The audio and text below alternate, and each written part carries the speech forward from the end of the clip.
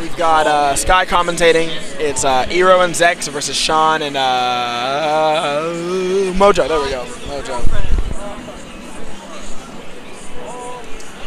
And I have two people right next to me that uh, are little pussies and they don't want to say anything. All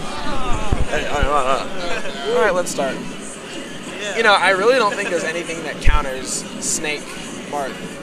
You know, like if you have DDD something else, you know, you have a Meta Knight that's kind of like a counter. A Falco that's kind of like a counter.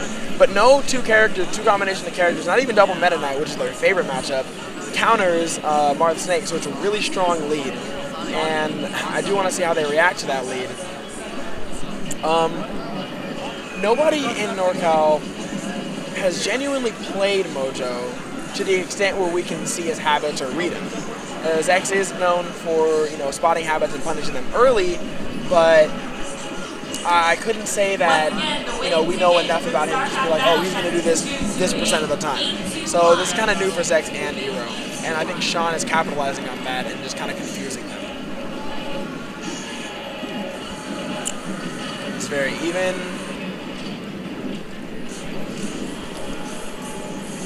Erow going for that forward tilt, didn't make it. Ooh, and barely survived, barely. There goes the first stock off Marth. Very nice. That was very well spaced. And Mojoe is the one still standing, but you know they know that it doesn't matter if Mojoe's living. They're just gonna double team Snake. If Mojoe wants to camp, they'll just double team. Not a big deal. Double team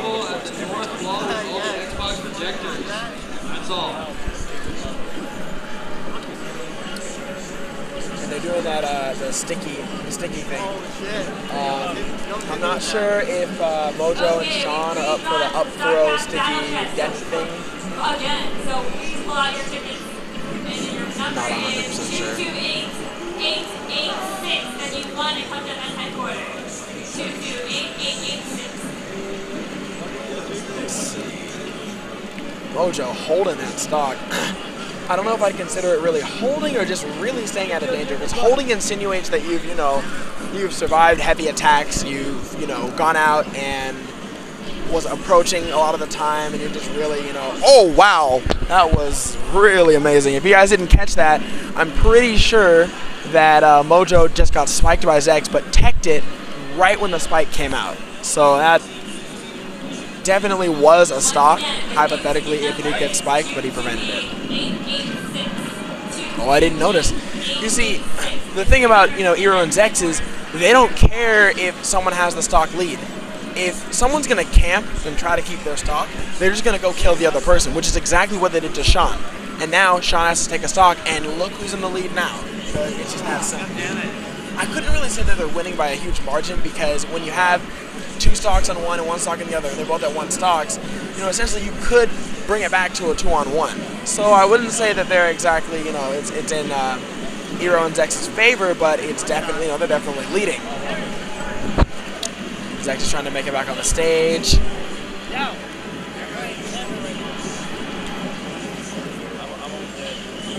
Okay, and there goes Erow's second stock on his way to protect Zex, and all we need now is one divine up tilt from anybody. So it's really tedious, you know, for um, for Mojoe to up tilt, or yeah, up tilt pretty much because he can kill his partner, he can kill Marth. It's a gamble, and Marth isn't gonna really let that happen.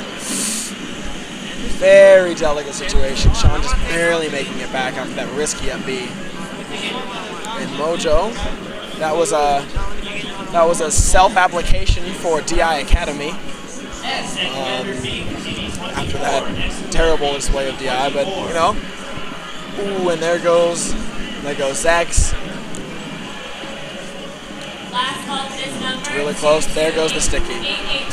Oh, okay, and barely, just barely he loses. Barely they lose. And the first game goes to Mojoe and Sean.